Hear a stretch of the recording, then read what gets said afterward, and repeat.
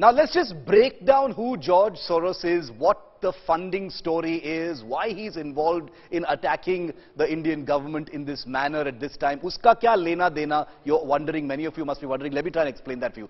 George Soros's NGO Open Society Foundation claims to fund groups that promote democracy, transparency and free speech in different parts of the world. Here's a look at the Open Society Foundation's funding in India at this time. It's given grants worth $11.9 million since 2015. And remember, I'm talking about just here in India. Out of this, 33% has been allocated to democratic practices, 31% to justice reform and rule of law, 25% on health and rights, 6% on disability rights and 5% on fellowships and education. This data is from 2020, from Open Society Foundation's own website. So this is data that they themselves declare. The big question is, why is George Soros' NGO spending so much on democratic practices? And more importantly, where specifically has this money been spent?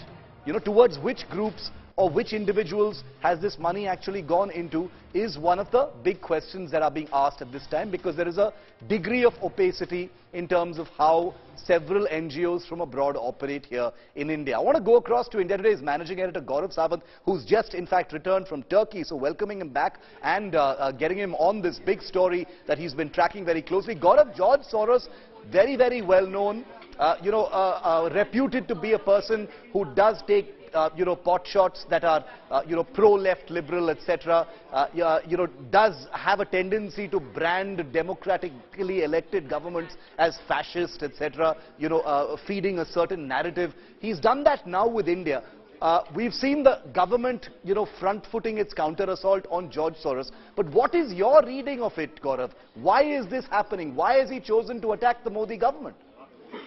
So, Shiv, uh, I've been speaking to top government sources and they say that there is a pattern to George Soros's activities, not just in India, uh, but uh, if you look back uh, from the time of, uh, you know, when, when he was funding uh, what was very popularly known as Glasnost and Perestroika in, the, in, the, in then Soviet Union. So from that era, regime change is, is something that he, he stands accused of, not just in the Soviet bloc, but also in countries like the United Kingdom and in Israel. Uh, in fact, the Tory party in, in the UK recently accused him of, of uh, spending money to change Boris Johnson as, as Premier of the United Kingdom. Uh, Israel has accused him of trying to interfere in democracy. Hungary, of course, passed laws. Uh, he himself or his NGOs have spoken of being involved in the Tiananmen Square uh, in China. So while Tiananmen Square in China can be understood uh, in interfering in a democracy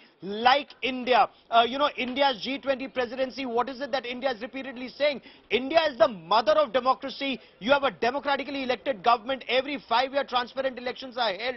And here is an individual uh, who's spending big money, as you very rightly pointed out. And this is this is public sourced information yeah. from the uh, OSF, uh, his own, his own uh, foundation, that he's been spending millions of dollars paying organizations and NGOs considered critical uh, of Prime Minister Narendra Modi and his party and of action that was taken in Jammu and Kashmir. Uh, you know, again, that was action on Article 370 taken democratically in the parliament and yet people like George Soros oppose it and yeah. say that a Muslim majority state action is being taken. So this is, uh, as some in the government say, agenda peddling by those who are very critical of Prime Minister Narendra Modi.